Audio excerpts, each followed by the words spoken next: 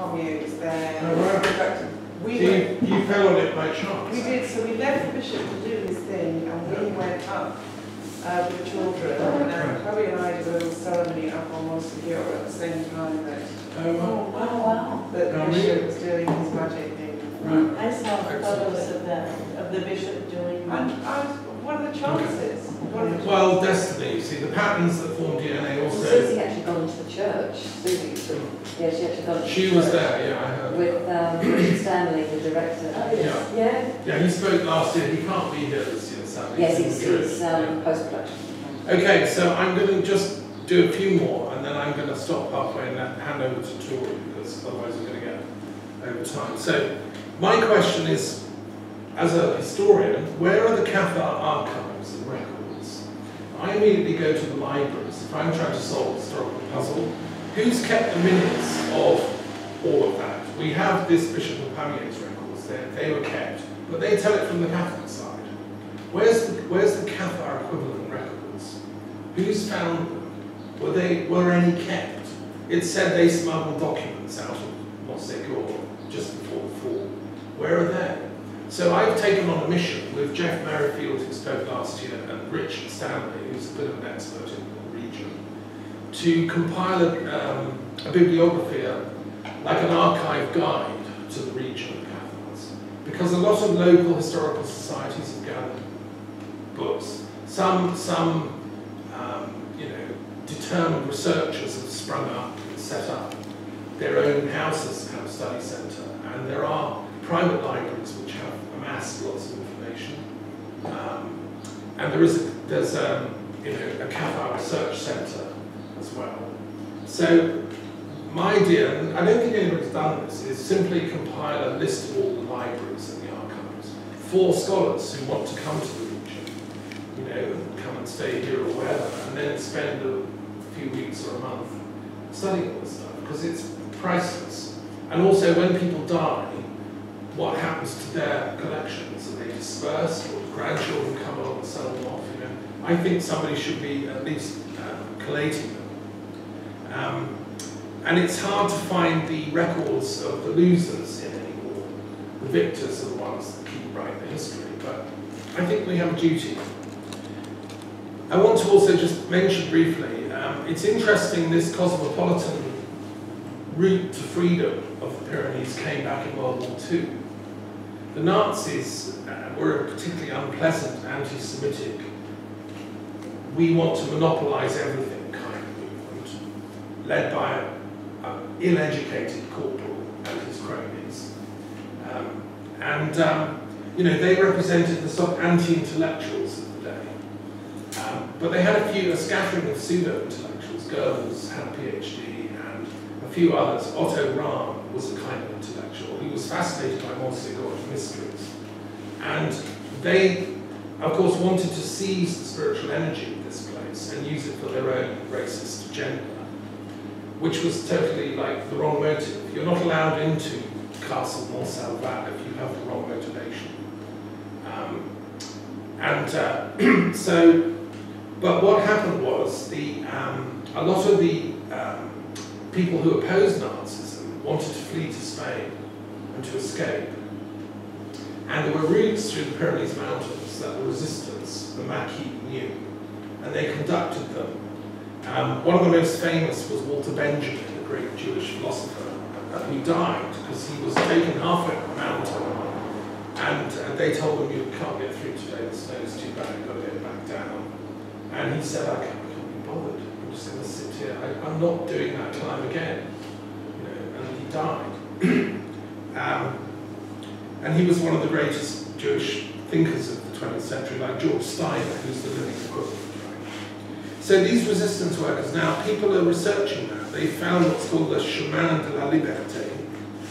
Between 1940 and 1944, 33,000 successful escapes took place, guided by French resistance people across the Pyrenees. And the Americans. And the Americans came to help as well. Yeah. We've got one very down the road here. I'm coming to that. yes.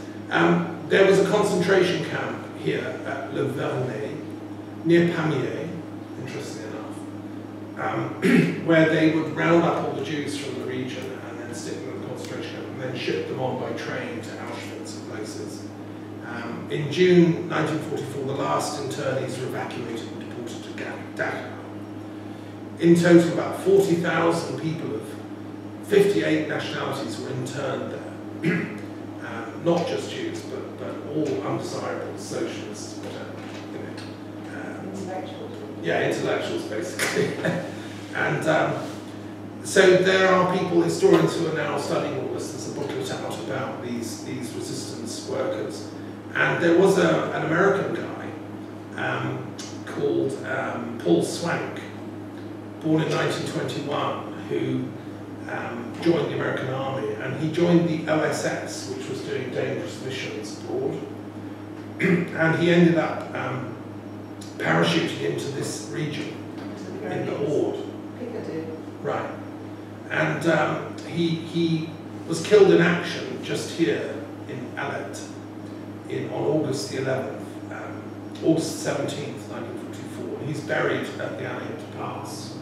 Do you know, originally his body was taken by the people of Alet. So the only reason I know this is next week, Barbara, his Paul's cousin, is arriving here. She's just written his book, his Ah. biography. Ah, So the, the people of Alet took his body yeah. and they took it up to the church in San Silvio and they kept a vigil up there. And it was After the death. after he was killed, and then Yeah. his death, then his body was then taken and he was buried in Espéraza with a Frenchman until after the war. And then he was exhumed, flown back to America, had a full military ceremony. Mm-hmm. But he wanted his dying wish was to die where, was to be buried where he fell. And he was then exhumed again, Gosh. brought back, and he's buried on the road here. Wow.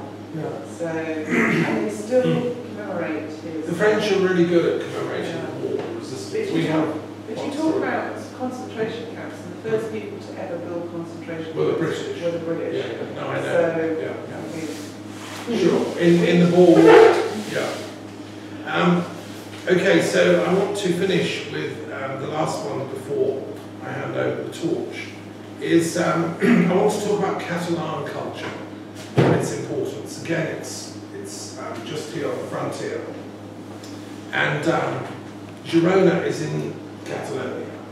And I made contact with a professor at the University of Barcelona, who again I invited late to speak. He's just done a PhD thesis on witchcraft in the Pyrenees. Um, he's a professor of medieval history at the University of Barcelona.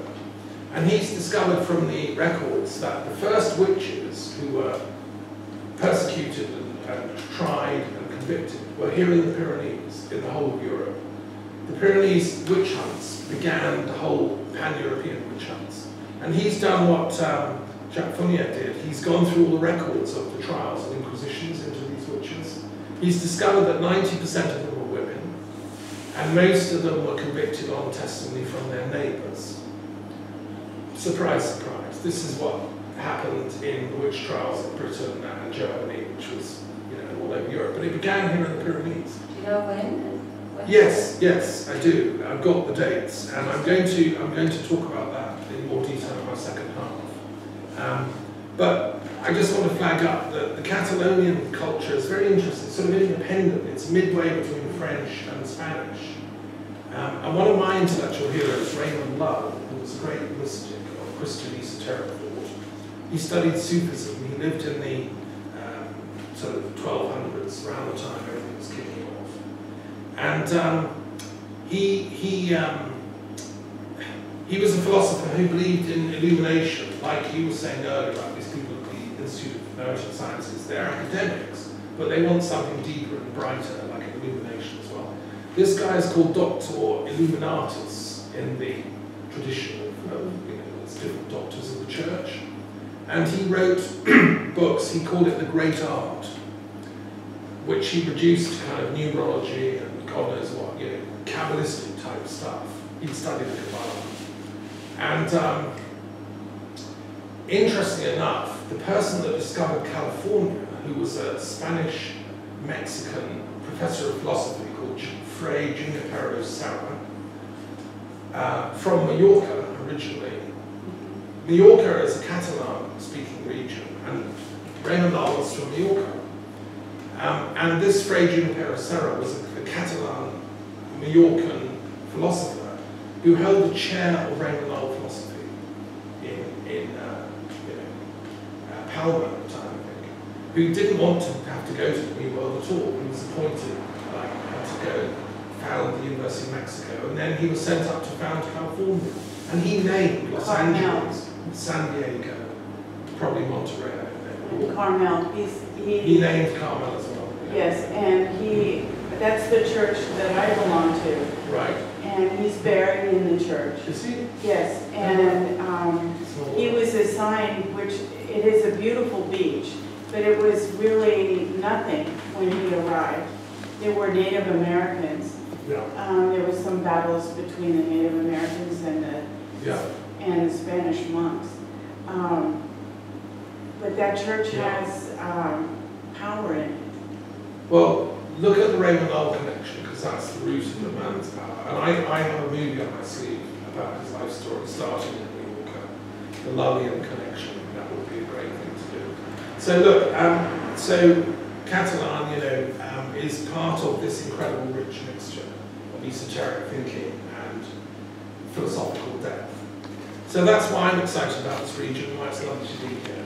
Okay, um, I'm going to save my other remarks for later because um, we don't want to run too late and we have to hear from our next year's speaker, Tori. So thank you so much. We'll stop there. Okay.